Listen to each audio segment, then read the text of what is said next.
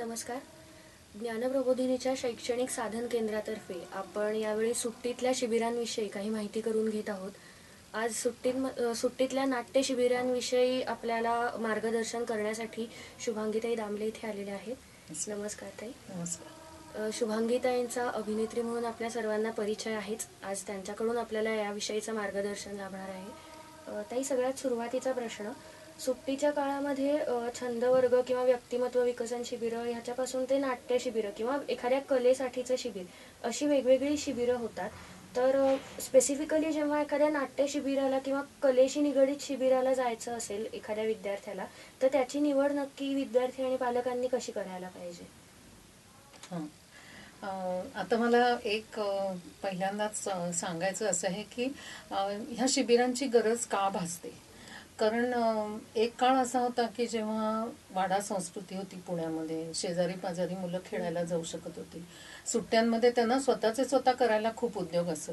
वाड्यात खेळायला लोक होती पत्ते कॅरम घर बसल्या किंवा अंगणामध्ये खेळायची सोय होती पोहायला जाण्याचं आणि सगळं हे खूप जवळजवळ होतं. आता जसजसं पुणं वाढलं संस्कृती बदलत चालली तसतसं आई वडील नोकरी करायला लागले मे महिन्याची एक दीड महिन्याची सुट्टी मुलांना कशी घालवायची आणि सध्याच्या या स्पर्धेच्या युगामध्ये सतत आपल्या मुलांनी कुठेतरी पुढे गेलं पाहिजे आणि त्याला सगळं काहीतरी सतत आलं पाहिजे किंवा त्यांनी काहीतरी सारखं शिकलं पाहिजे या विचाराने पालक इतके काय म्हणूया आपण त्यांना इतकं मनात सारखं ह्या गोष्टी येत असतात की त्यामुळे ह्या शिबिरांची गरज भासायला लागली. म्हणजे आम्ही लहान असताना किंवा माझी मुलं लहान असताना नुमवी शाळेमध्ये छंद वर्ग भरत असत. त्या छंद वर्गामध्ये अगदी सायकल रिपेअरिंग पासनं ते कागदाची फुलं मेणाची फळं करा शिंप म्हणजे जे घरात बसल्या बसल्या घरगुती सामानातून मुलांना काहीतरी शिकता येईल. त्याच्यामध्ये अक्षर सुधारण्याचं असे नंतर मला आठवतंय की चित्रकला होती परीक्षेसाठी शिवणकामाचे असत. आणि वेग असे खरं खरं ज्याला छंद म्हणता येईल अशा प्रकारचे छंद असत. पण आता काळ बदलत चालला तशी ह्या सगळ्या संकल्पनाही बदलत चालल्या. आणि त्यामुळे ह्या मे महिन्यातल्या शिबिरांची गरज पालकांना भासायला लागली. तर आता त्यातलं एक सध्याचं युग हे आपण काय म्हणू माध्यमांचं युग आहे. जिथे जाऊ तिथे ही माध्यमं आपला पाठपुरावा करत असतात. आणि या माध्यमांशी तुम्हाला जर संवाद साधायचा असेल किंवा या माध्यमांच्या बरोबर राहायचं असेल तर त्या माध्यमातलं आपल्या मुलाला काहीतरी यावं आणि यासाठी पालक धडपडत असतात. आणि नॅचरली माध्यम म्हणजे आपल्या दृष्टीने टी व्ही असतो किंवा मोठा पडदा असतो. तर त्याच्यामध्ये मुलांना करिअर करता येईल का? किंवा अभिनय शिकून त्या क्षेत्रात करिअर करिअर करता येईल का? यासाठी पालक आता सजग व्हायला लागलेत आणि म्हणून ह्या शिबिरांमध्ये हल्ली खूप लोक त्यांचा ओढा त्याच्याकडे असतो की नाट्यविषयक प्रशिक्षण आपण त्यांना द्यावं. आणि म्हणून पालक या शिबिराकडे आता वळलेले आहेत. आणि त्यातला एक भाग मुलांना दोन तीन तास कुठेतरी एंगेज करावं. पण ते करताना सुद्धा हल्ली सजग दृष्टीने पालक बघतात की आपल्याला पा मुलाला तिथे ठेवायचंय तर तिथलं आजूबाजूचं वातावरण तिथे काय पद्धतीने शिकवलं जातं? किंवा आपण एक म्हणतो की तिथलं ॲटमॉस्फिअर हे त्या जे ज्या शिबिराला आपण घालतोय त्यासाठी योग्य आहे का? हे सगळं बघून पालक त्या शिबिराला मुलांना घालतात. आणि म्हणून सुदर्शन सारख्या आमचं जिथे फक्त नाट्यविषयक चळवळ चालवली जाते ते एक सांस्कृतिक केंद्र आहे की जिथे अनेक प्रकारचे उपक्रम या क्षेत्रातले राबवले जातात. तिथे आपल्या मुलाला घातलं तर तिथलं प्रशिक्षण जे काही असेल ते खूप आपण जेन्युन ज्याला म्हणतो असं असेल असं वाटून मुलं आमच्याकडे शिबिराला येतात.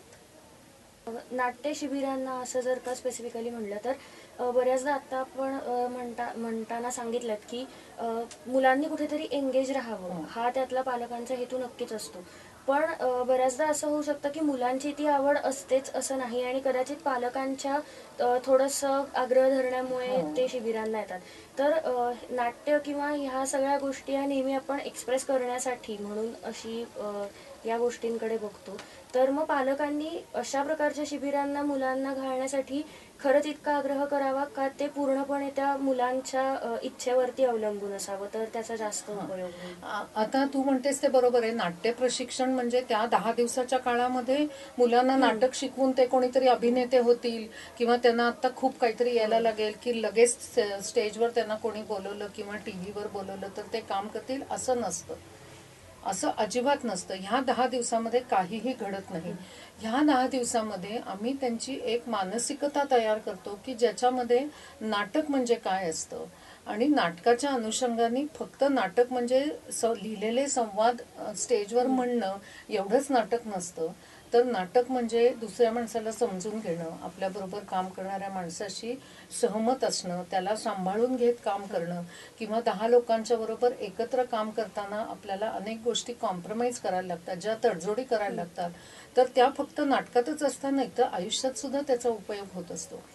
किंवा दुसरा एक आणखीन अतिशय त्यातला महत्त्वाचा मुद्दा आहे की कित्येक मुलं अशी असतात की ज्यांच्या अंगात हे गुण असतात पण ते सुप्त पद्धतीत असतात किंवा घर घरातल्या घरात असतात. पण आई वडिलांना वाटत असतं की नाही ह्याच्यात काहीतरी चांगले गुण आहेत. तर त्या गुणांचा थोडा विकास ज्याला ओपन अप म्हणता येईल अशा पद्धतीचं ओपन अप होण्याचं एक साधन म्हणून ह्या शिबिरांचा उपयोग होतो. कारण प्रत्येक मूल हे त्याच्या स्वतःच्या एका परिघामध्ये फिरत असतं. म्हणजे आई वडील घर शाळा क्लास आणि परत घरी आई वडील किंवा घरातले जे काही मेंबर्स असतील त्याच्यामध्ये. पण त्या शाळेच्या व्यतिरिक्त सुद्धा जगामध्ये आणखीन लोक आहेत की जी आपल्यासारखीच असतात पण आपल्यापेक्षा वेगळी असतात किंवा आपण रोज पाहतो त्या माणसांपेक्षा वेगळी असतात. त्यांच्याशी कसं मिळून मिसळून वागायला पाहिजे त्यांच्याबरोबर कसं आपण एकत्रितपणे काम केलं पाहिजे हे या शिबिरांमध्ये जास्त करून विशेषतः आमच्या शिबिरामध्ये शिकवलं जातं. इथे फक्त नाटक म्हणजे चांगले संवाद म्हणतं एवढं नसतं. दुसऱ्याचं ऐकून घेण्याची वृत्ती पण नाटकामुळेच निर्माण होते कारण फोकस ज्याला म्हणतो की एखाद्या गोष्टीवर कॉन्सन्ट्रेट करायचं असेल तर कसं करावं हे नाटकाच्या ह्या खेळातनं शिकवलं जातं. आणि म्हणून पालकांनी जेव्हा या अशा पद्धतीच्या शिबिरांना घालावं तेव्हा जरी मी म्हटलं की ते एक वेळ घालवण्याचं साधन असेल तरी डोळे उघडे ठेवून जिथे मुलाला चांगल्या प्रकारचं प्रशिक्षण मिळेल फक्त अभिनेता अभिनेत्री होणं हे नसून आपल्या मुलाचा सर्वांगीण विकास ज्याला म्हणता येईल. आता परत सर्वांगीण विकास दहा दिवसात होतो का? तर नाही. तर हा सर्वांगीण विकास होण्यासाठी जी मनोवृत्ती तयार व्हायला लागते ती कुठेतरी मुलाच्या सबकॉन्शियसमध्ये आम्ही ती भरवत असतो आणि त्याच्यातनं तो पुढे ते शिकत जातो की मी एखाद्याच्या मा- मुलाचं जर ऐकलं नाही लक्ष देऊन तर माझं तो ऐकेल का? हे जेव्हा मुलाला कळायला लागतं जेव्हा मी नाटकातनं शिकवतो तेव्हा वर्गामध्ये तो मुला आपल्याबरोबरच्या मुलांकडे जास्त लक्ष देऊन ऐकेल. तो सर काय सांगतात ते ऐकेल. म्हणजे त्याचं ऐकण्यासाठी जे कॉन्सन्ट्रेशन दुसऱ्या मुलांनी करावं असं त्याला वाटत असतं ते घडत जातं. हे अत्यंत सबकॉन्शियस लेवलला सगळं घडत असतं पण त्याचा उपयोग नक्की होतो.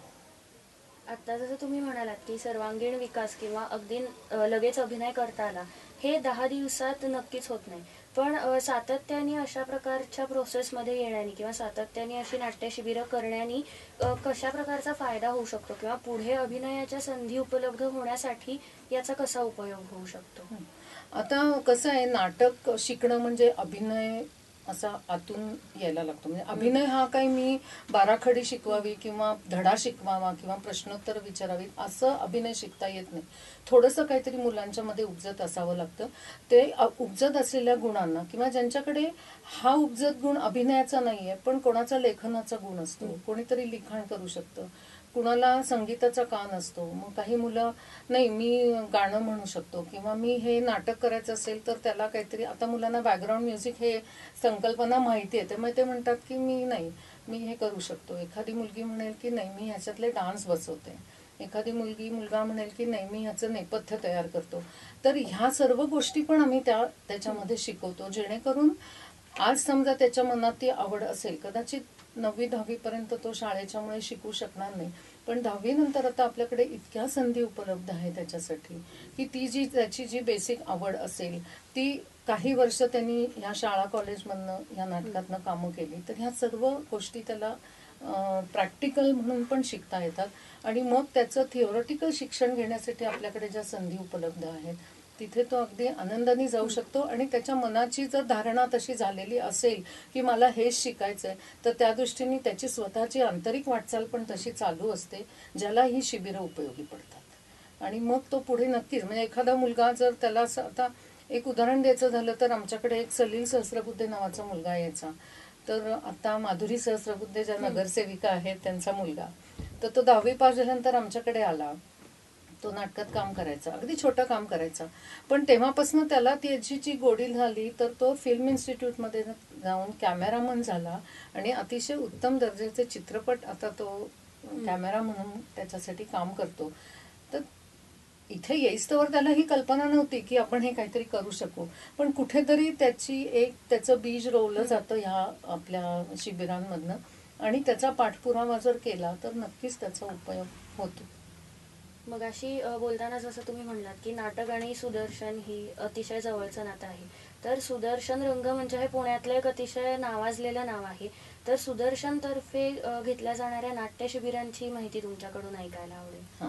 आता सुदर्शनची चळवळ ही गेली दहा वर्ष चालू आहे तुला माहितीच आहे. तर बेसिकली आमच्याकडे मी म्हटलं तसं की खूप फोकस्ड हा नाटक आणि मुलांच्या ह्या पद जे काही नाटकामध्ये शिकवलं जातं मग त्यांना थिएटरमध्ये आम्ही काम करायला देतो. आमचं जे थिएटर आहे तिथेच वर्कशॉप असतं. तिथे त्यांना लाईट्स म्हणजे काय साऊंड म्हणजे काय माईक्स म्हणजे काय नवीन आलेले माऊस माईक म्हणजे काय विंग कशाला म्हणतात बॅकड्रॉप कशाला म्हणतात किंवा अंतर किती असावं बोलण्यामध्ये किंवा ह्या पद ह्या पद्धतीचे माईक वापरायचे असतील तर कसा आवाज द्यायला लागतो? इथपासनं ते अतिशय उत्तम वाचन कसं करावं? कारण वाचन जर चांगलं केलं तर मी नेहमी मुलांना सांगते की चांगलं वाचाल चांगलं म्हणजे वाचन हं. काही काय वाचाल ते माहिती नाही पण जर तुम्ही वाचन नीट करायला शिकला तर जेव्हा तुम्ही शाळेचे धडे वाचता ते जर चांगल्या प्रकारे वाचले तर ते अर्थ समजतो आणि तुमच्या पटकन लक्षात राहतात. तुम्ही कसंही वाचलं कुठेही विराम कुठेही स्वल्पविराम कुठेही पूर्णविराम देऊन जर वाचलं किंवा एका लयीत नीट वाचलं नाही तर तो धडा लक्षात राहायला अवघड पडतो. आणि मग आपल्याला जर तो आवडला नाही तर मग आपण त्याच्याकडे त्या दृष्टीने बघत नाही. तसंच आहे नाटकाचं. की नाटकाचं स्क्रिप्ट वाचताना चांगल्या प्रकारे वाचायला पण शिकवलं पाहिजे. ते पण आम्ही त्याच्यामध्ये शिकवतो. आवाजाची पट्टी कशी राखावी? कोणाशी किती अंतरावर बोलत असताना कुठल्या पट्टीत बोललं पाहिजे? किंवा तुमचा आवाजाची फेक कशी असावी? किंवा आवाज खालच्या पट्टीत कसा लावावा? म्हणजे व्हॉइस मॉड्युलेशन कसं असावं? ते पण आम्ही ह्याच्यामध्ये शिकवतो. ज्याचा उपयोग तुम्हाला आपल्याकडे वायवा असतात म्हणजे तोंडी परीक्षा असतात त्याच्यात त्याचा उपयोग होऊ शकतो. पुढे मागे गेल्यावर तुम्हाला इंटरव्ह्यू द्यायची वेळ आली तर तुम्हाला त्याचा उपयोग होऊ शकतो. की समोरच्या माणसाला आवडेल असं आपण बोललं पाहिजे त्या आवाजात बोललं पाहिजे. आपल्याला समोरचा माणूस जेव्हा आपलं ऐकतो तेव्हा त्यांनी आपल्याकडे दुर्लक्ष करता कामा नये. आणि ते दुर्लक्ष जर करायला नको असेल तर खूप स्पेसिफिक खूप पॉइंट ऑफ व्ह्यू लक्षात घेऊन आणि खूप चांगल्या आणि समजेल अशा आवाजामध्ये बोलणं ह्याची फार गरज असते. ते आम्ही त्याच्यामध्ये शिकवतो. हा एक त्याच्यामधला त्यांच्या मनावर होणारा अदृश्य परिणाम आहे असं आपण म्हणूया. दृश्य परिणामात आम्हाला ते काय दाखवतात? दहा दिवसामध्ये तर नाटक करून दाखवतात. कोणी लिहून दाखवतो कोणी त्याचे डान्स बसवतात कोणी त्याचे कॉस्ट्युम काय असावे त्यातली आमच्याकडची प्रॉपर्टी गोळा करून. म्हणजे त्यांची क्रिएटिव्हिटी जी असते मनात त्यांच्या काय असते ती जास्तीत जास्त बाहेर काढण्याचा आम्ही प्रयत्न करतो.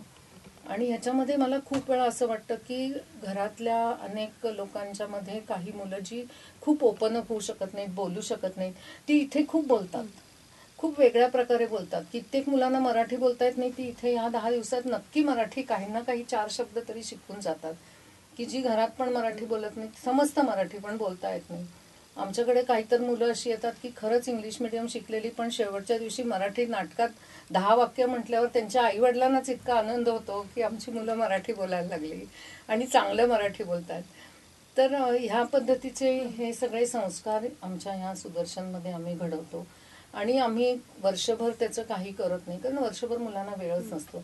पण हे जे काही दहा पंधरा दिवस त्यांच्याकडनं आम्ही करून घेतो त्याचा उपयोग त्यांना नक्की त्यांच्या स्वतःसाठी होतो आणि त्यांची एक आवड जोपासली जाते.